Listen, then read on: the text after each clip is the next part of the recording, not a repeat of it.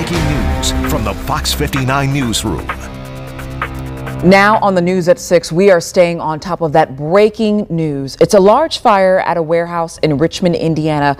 We've confirmed that there was some lawn mo lawnmower manufacturing that happened here in this facility prior to it now holding plastics and recycling. What you're seeing right now is a live picture and it shows smoke that's coming now from the Richmond area out in Wayne County. The mayor of Richmond told us in the last hour that facility has again been used to store plastics and recycling. Yeah, we do know that an evacuation order is in place for the half mile around the fire. Others are told to shelter in place. There are resources available as well. Fox 59's Max Lewis is live at the scene right now. Max, we know you just got there. What can you tell us now? Yeah, guys, good evening. Um, that uh, evacuation order has been issued. Everybody within a half a mile of this facility. That was by the Wayne County Emergency Management. Uh, also, residents outside of that are asked to turn off their HVAC units, keep windows and doors closed. Pets should be brought inside. And the reason is, is because I want to step out of the way and show you this massive, literally massive plume of smoke that is just billowing into the air from this facility.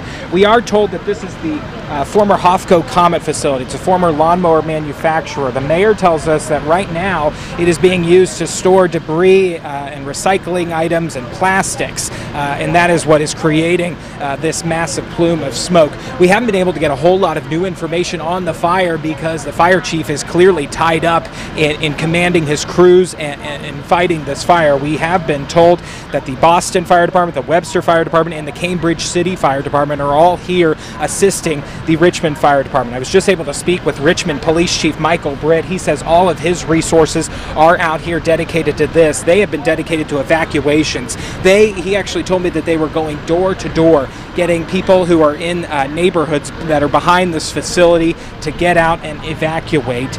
Um, the sheriff's office tells me that they are also helping here and that they um, have uh, brought in people to assist with crowd control and things like that. I do want to give you a little bit of a tidbit that the Richmond uh, police chief told me. Actually, he said that when this fire initially started, see those semi trailers that are near the facility? They actually were had forklifts and they were dragging those semi trailers away from the facility to try and keep them from from adding fuel, literal fuel, to this fire. So we are uh, hoping to get a briefing here in the next hour or so, uh, and we will keep you updated as we learn new information about this really massive fire here in Richmond. Guys, we'll send it back to you.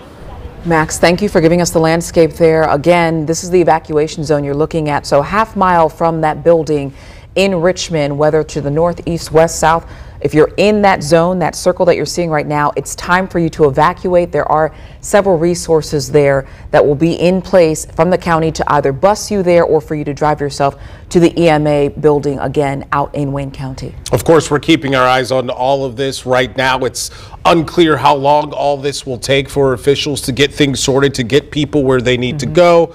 It is something we're going to continue to monitor throughout. We'll have updates both on air and online as well as our social media pages.